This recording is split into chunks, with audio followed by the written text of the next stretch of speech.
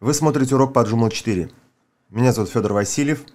Тема урока – разбор общих настроек статей Joomla. Переходим с вами контент, материалы. В прошлом видео разбирали настройки самих материалов при создании. Но здесь, на этой странице, есть кнопка настроек, достаточно важные настройки.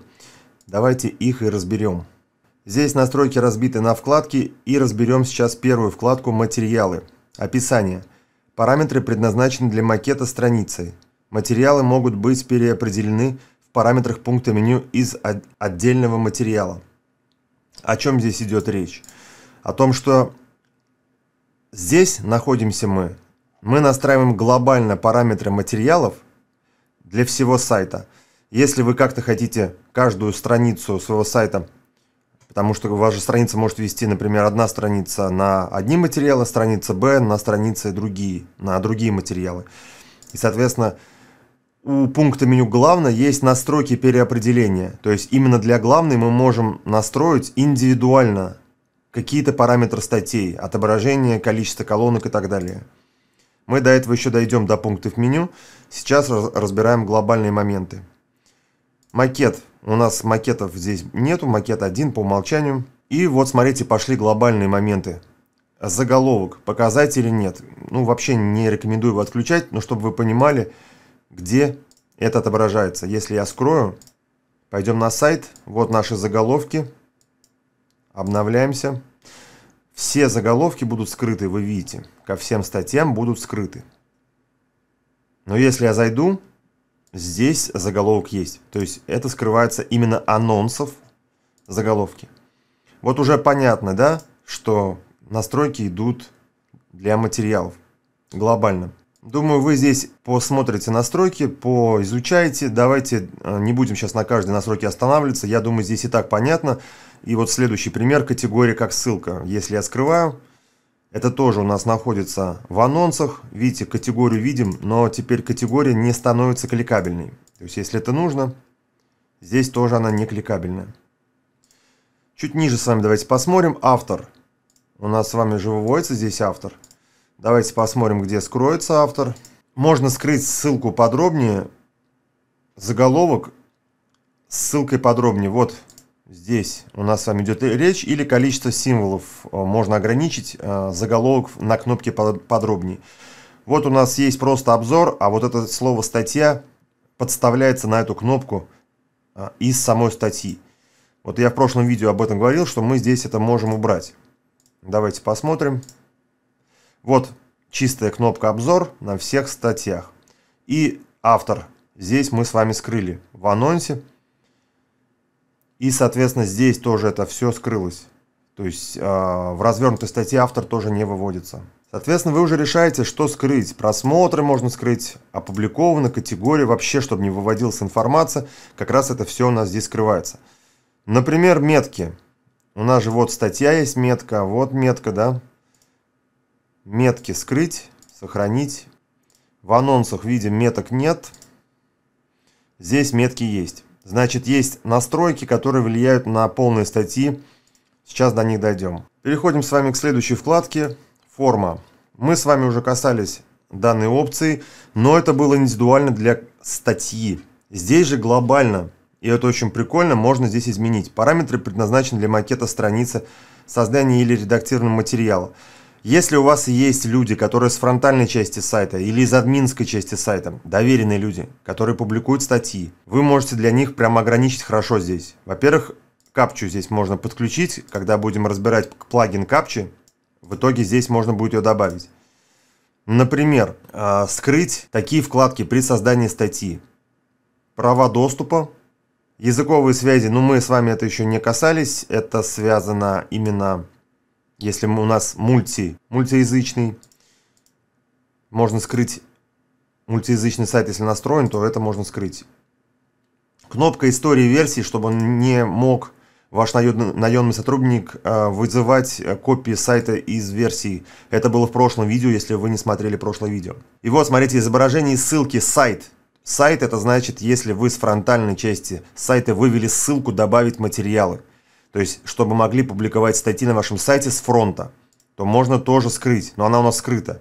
Изображение ссылки панели управления тоже скрываем. Вот смотрите, как это прикольно будет.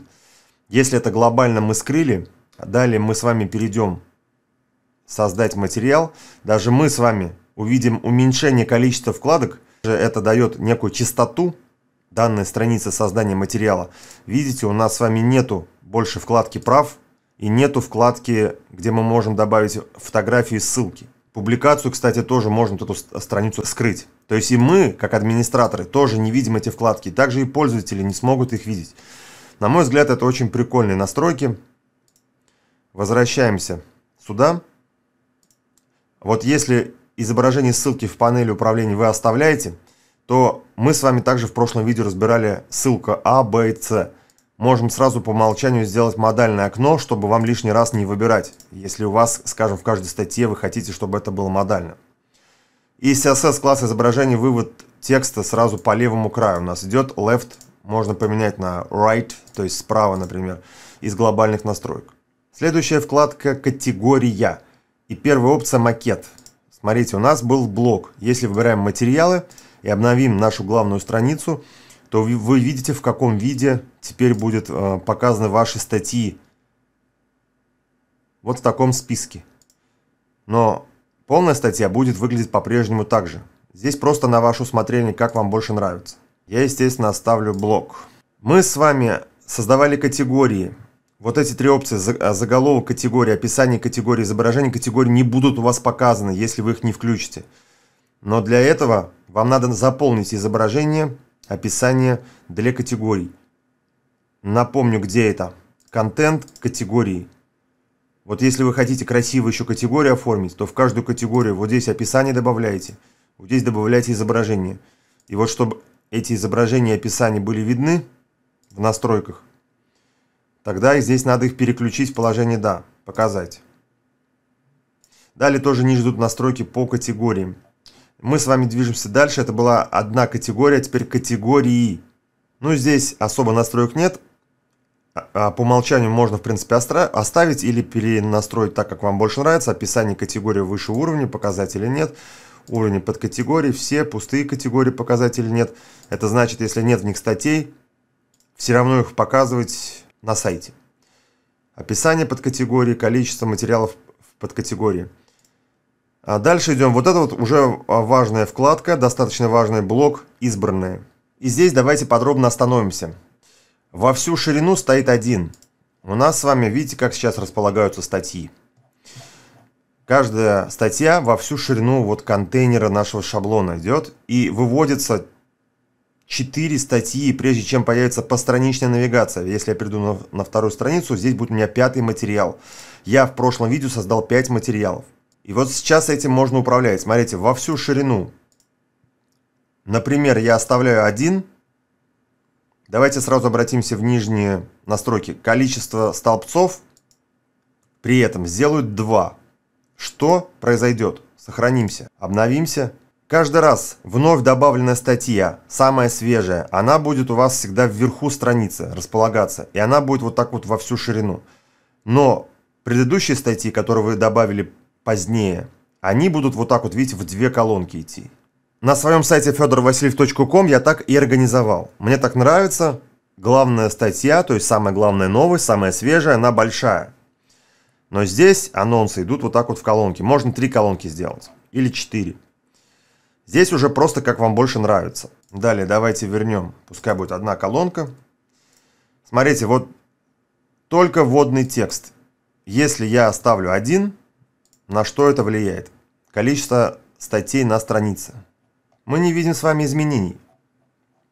Смотрите, только вводный текст, по идее, должна быть одна статья, или даже можно поставить 0, и должна пойти по страничной навигации. Надо почистить кэш браузера. И еще раз проверим. У нас не получается, потому что идет переопределение в настройках пункта меню главное. У вас по умолчанию, скорее всего, так же будет. То есть, как вы Joomla вот установили, ничего там не настраивали, в пункте главное меню надо покопаться. Чтобы у вас не было недоумений, почему настройки не действуют. Я тоже часто сталкивался с таким, когда был тоже начинающим пользователем Joomla. Вы переходите в меню «Майн меню», главный пункт меню, а, вкладка блок, только вводный текст. Давайте сейчас для эксперимента поставим 0, сохранить. Вот, вот эти настройки сейчас, которые мы уже с вами затрагиваем, это дублирующие настройки, которые мы сейчас проходим. Только вот эти настройки, они идут индивидуально для этого пункта меню «Главное». И иногда нужно оставить, чтобы показывался по умолчанию вот это поле. И уже вот по умолчанию мы настраиваем глобально. Тогда настройки для главного пункта меню должны действовать. Вот сейчас мы сделали вводный текст 0, сохранили, обновим сайт и увидим, что все сработало. Одна статья выводится и все пошли, видите, постраничная навигация. Причем сразу 5 страниц, потому что на второй странице выводится одна статья, на третьей выводится одна статья, потому что мы так захотели выводить по одной статье. Поэтому здесь я предлагаю только вводный текст убрать любые значения, чтобы осталось по умолчанию у нас с вами. Сохранить, закрыть. Чтобы эти настройки не действовали на глобальные. Потому что у нас идет переопределение. Возвращаемся с вами материалы, настройки. Только вводный текст, пускай будет 4. Сохранить. Вот теперь настройки действуют для глобальных. Я обновил сайт. Раз, два, три, четыре. Давайте сделаем 3. Потому что одна новость у нас выводится во всю ширину. Вот. Я хочу, чтобы вводилось раз, два, три, четыре. А пятая новость моя уже перешла на вторую страницу. Также и другие опции. Если вы чувствуете, что они не работают, не действуют, зайдите в тот пункт меню, где вы сейчас настраиваете, и уберите там значения, чтобы были по умолчанию, чтобы не шло переопределение. Чтобы я здесь еще в настройках рекомендовал включить в самом низу изображение вводного текста как ссылка. Прям очень полезная вещь. Очень удобно. Иногда просто не попадаешь мышкой быстренько на статью, на заголовок или на кнопку подробнее. Люди часто кликают на изображение, потому что удобно переходить. Вот видите, я обновил страницу, теперь у меня каждое изображение каждой статьи автоматически будет становиться ссылкой. Кликаю на изображение на полный текст статьи. Я считаю, что это удобно, это надо включить. Как, например, оформить э, симпатично в две колонки, э, чтобы это подсвечивалось такой некой тенью небольшой, вы это видите, вот так вот э, симпатично, как в демо-данных. Давайте это сделаем. Здесь же главный CSS класс материалов, я вам подскажу, вот проставьте вот так вот боксы, columns, и вот здесь вот можно управлять числом колонок. 1, 2, там 3, 4. Поставьте, например, 2 во всю ширину вместо одного Например, 4. Во всю ширину 4, при условии, что у нас стоит эта перемена в две колонки. Но только вводный текст я сделал тоже 4. Количество столбцов 0. И смотрите, сохраниться. Не забудьте еще раз перепроверить меню. Главное, чтобы у вас переопределения не было. На вкладке блок во всю ширину надо здесь убрать. И видите, по умолчанию 4 стоит. Он говорит о том, что вы указали 4 в глобальных настройках. Только вводный текст тоже 4. Вот. Уберите здесь все, все цифры и нажмите «Сохранить». Обновите сайт, тогда получится вот как в демо-данных. У нас получается по две новости в такой симпатичной рамочке. Вот так выводится. Пятая новость выводится внизу большим а, полным анонсом. Как раз таки эти настройки. В настройках статьи блок избранная во всю ширину 5. Тогда будет все а, в такие колонки. 5 статей, поэтому вот так выводится. Здесь у нас пустое место. Добавим шестую статью, добавится здесь еще одна статья.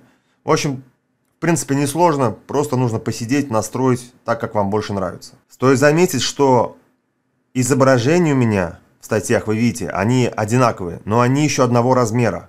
Чтобы у вас вот так же ровненько все это выглядело, изображения вы же будете использовать разные – вот позаботьтесь о том, чтобы между собой, там, на фотошопе или еще где, подгоните их одного размера.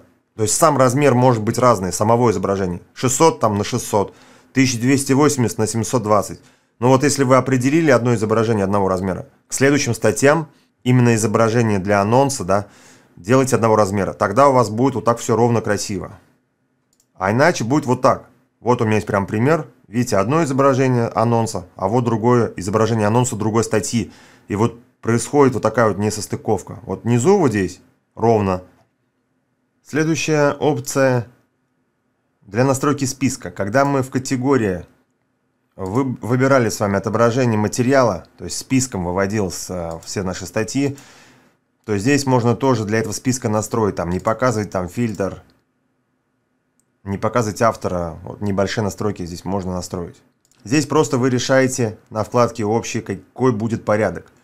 Порядок категорий, порядок материалов, новые первыми, ну, то есть это самое, я думаю, правильное. Когда статья самая свежая, должна быть наверху. По дате сортировки, разбиение на странице автоматически.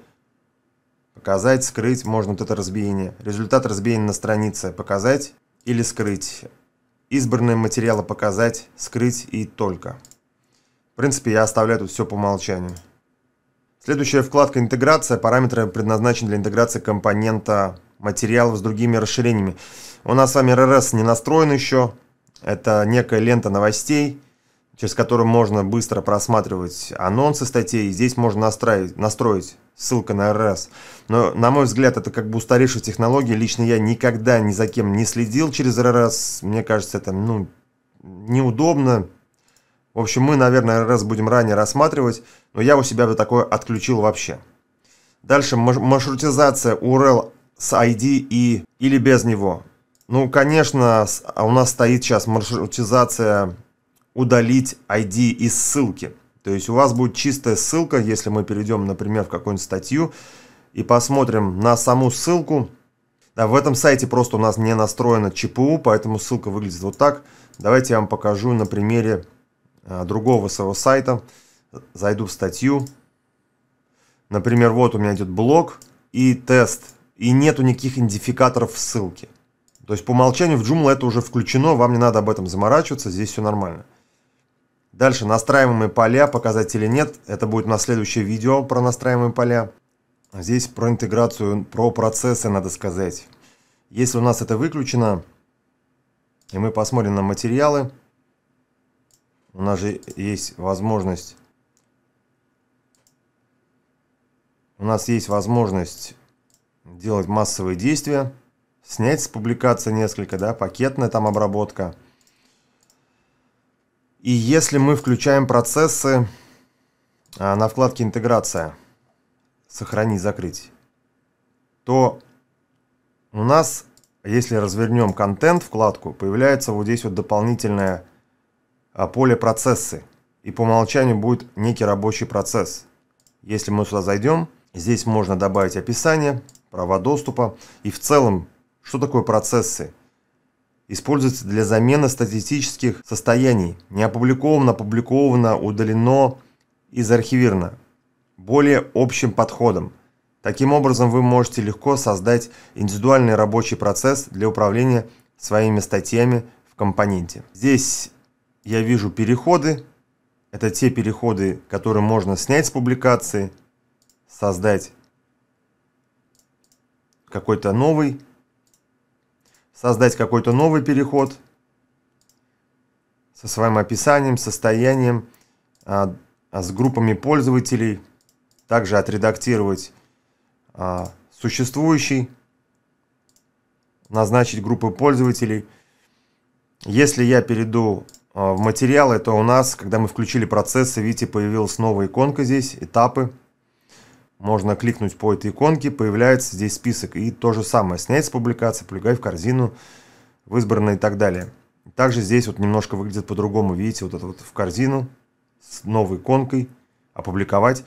Честно говоря, практики работы пока с этой опцией нет. Не знаю, насколько она будет удобна и полезна, но время покажет. И здесь у нас остается еще вкладка «Права доступа» который вы тоже можете индивидуально настроить. Об этом у меня уже были уроки по поводу прав доступа и групп пользователей. Здесь, как правило, я ничего не, не делаю, по умолчанию у меня все настроено. Мы с вами разобрали общие настройки всех материалов. Так или иначе, в следующих видео мы будем их касаться. Когда мы будем разбирать пункты меню, там тоже будем смотреть уже индивидуально для пунктов меню, какие есть настройки. Они будут тоже переплетаться вот с этими настройками материалов.